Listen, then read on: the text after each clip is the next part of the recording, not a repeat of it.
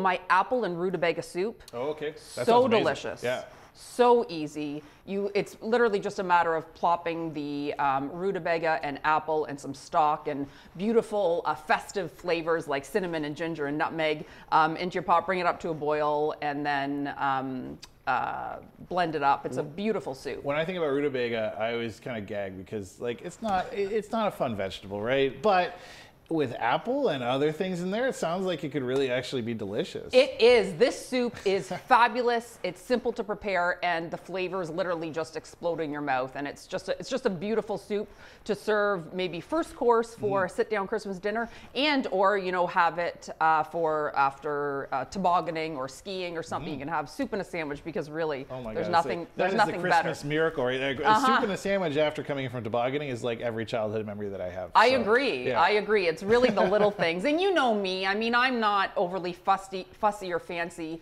My goal is to inspire people to get into the kitchen. And if Mm-hmm. it's through a simple soup or a simple salad, then hey, um, you know, it doesn't have to be fancy to be delicious and memorable.